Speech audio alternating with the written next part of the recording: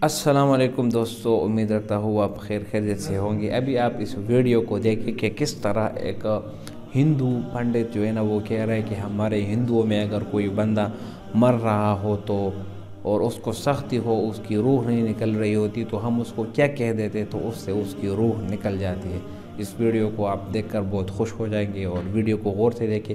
उसके बाद हम इसके ऊपर बात करेंगे। सकरात के आलम में जब मृत्यु जान नहीं निकलती है ना हाँ हाँ। तो उस वक्त महाब्राह्मण को बुलाया जाता है। हाँ। और ये मंत्र पढ़ा जाता है। इस मंत्र का नाम रखा गया है अनकही। अनकही। हाँ यानी किसी से कहा नहीं जा सकता ऐसा छुपाया गया है इस मंत्र। में। और वो मंत्र इस तरह है कि ला इला हरणी पापम। ला इला हरणी पापम। इल्लल अम्बा परम पदम। और जन्म वैकुंठ प्राप्ति। जन्म वैकुंठ प्राप्ति। प्राप्ति। तो जपे नाम मुहम्मदम सल्लल्लाहु अलैहि वसल्लम। इसका अनुवाद हुआ ला इला हरणी पापम। ए भक्त ला इला कहने से तेरे पाप हरण हो जाएँगे। क्या? इल्लल अम्बा परम पदम। और अल्लाह को पैदा करने वाला मान लेने से तुझे परम पदवी मिल जाएगी। हाँ। और जन्म वैकुंठ प्राप्ति और हमेशा के लिए स्वर्ग प्राप्त करना चाहता है जन्नत हासिल करना चाहता है। तो जपे नाम मुहम्मदम। तो मोहम्मद साहब के नाम वाला कलमा जप ले। वो ला इलाहा इल्लल्लाह। मुहम्मद वसल्लम। जी खुश आमदीद दोस्तों उम्मीद रखता हूँ आप लोगों ने वीडियो को पूरी देखी होंगी। आ, इस वीडियो में एक हिंदू आ, जो हिंदुओं का जो पादरी होता है या हिंदुओं का जो बड़ा सा वो होता है जो भी होता है पंडित होता है वो कह रहा होता है कि हमारे हिंदुओं में जब किसी हिंदू की रूह निकल रही होती है और उसको रूह निकलने में सख्ती पेश आ रही होती है तो मेरे भाइयों दोस्तों, ये बात यहाँ पर काबिल ज़िक्र है कि बिल्कुल मौत के जो आसार होते हैं और जब बंदे के जिसम से रूह जब निकल रही होती है तो ये बहुत बड़ा सख्त वक़्त होता है। और ये हमने वीडियो में भी देखे, बहुत सारे वीडियो के किस तरह एक बेज़ुबान जानवर, जिस तरह बिल्ली वगैरह, उसकी जब रूह निकल रही होती है तो किस तरह वो तड़पती है, किस तरह से वो लाते वगैरह मारती है। तो ये मंज़र बहुत ख़तरनाक होता है और बहुत ही बंदे को जो है ना डरा देते हैं। ये ये वाले असरात हम सब पर आने वाले हैं। जो मर गए, उन पे तो गुज़र गए।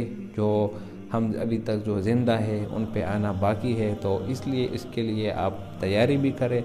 और इसके तो हादिस में आता है कि जब बंदे के जिसम से जब रूह निकलती है तो ये जिसम का हर एक अज़ा जो है ना, एक दूसरे से रुखसत ले रहे होते हैं। पाँव हाथों से, हाथ पाँव से, दिल पूरे अज़ा से और फेफड़े वगैरह सब के हम जो है ना बस छोड़कर जा रहे हैं। तो ये बहुत ही एक ऐसा लम्हा होता है कि इंसान को अपनी परवाह नहीं होता, ना ही उसको अपने औलाद की परवाह होती है। किसी चीज़ की भी नहीं, सिर्फ़ अपनी परवाह इसको लगी रहती है। ये रूह जब निकलती है, ये पाँव से शुरू होती है, पाँव के उंगली से ये शुरू होती है और इस तरह आकर ये नाक पर निकल जाती है।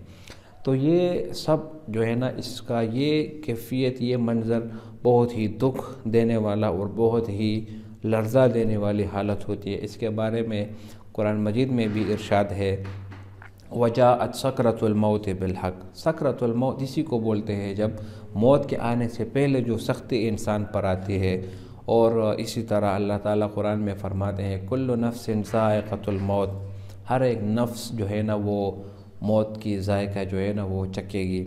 तो ये हिंदू कहते हैं कि जब हमारे हिंदुओं में कोई हिंदू मर रहा होता है और वो जब उसकी रूह नहीं निकल रही होती, वो जब सख्त होता है तो हम उसको जाकर कहते हैं, क्या? ला इल्लल्लाह मुहम्मदुर रसूलुल्लाह। ये जब हम कह देते तो इससे उसकी रूह जो है ना वो आसानी से ही निकल जाती।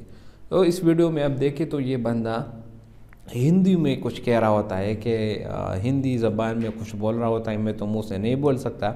लेकिन अगर आप इसको अरबिक में बोलेंगे तो इसका यही मतलब निकलता है कि कोई मबूद नहीं, सिवाय अल्लाह के और मोहम्मद सल्लल्लाहु अलैहि वसल्लम अल्लाह के रसूल है।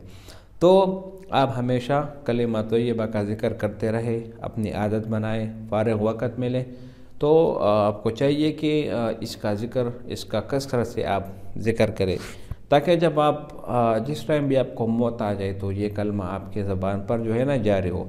इंसान हमेशा जो काम करता है, जिस चीज़ की आदत होती है, उसको नशे की हालत में भी वही चीज़, वही कॉमन चीज़ है और वही आदत उसके मुँह पर जो है ना वो आते रहते हैं। बेख्याल वो उसके ज़ुबान पर जारी हो जाते तो हमें भी चाहिए कि हम मौत की तैयारी करें, मौत के आने से पहले और कलमा तोयबा का वर्द बार बार करें कि एक हिंदू जो है ना, वो भी अपने बंदों को इसी की दावत देता है तो हम मुसलमान होकर क्यों नहीं करते? हमें भी चाहिए कि हम इसकी ज़िक्र असकार करें और इसको अपना आदत बनाएँ। अगर वीडियो आपको अच्छी लगे तो इसको लाइक करें और चैनल को भी सब्सक्राइब करें।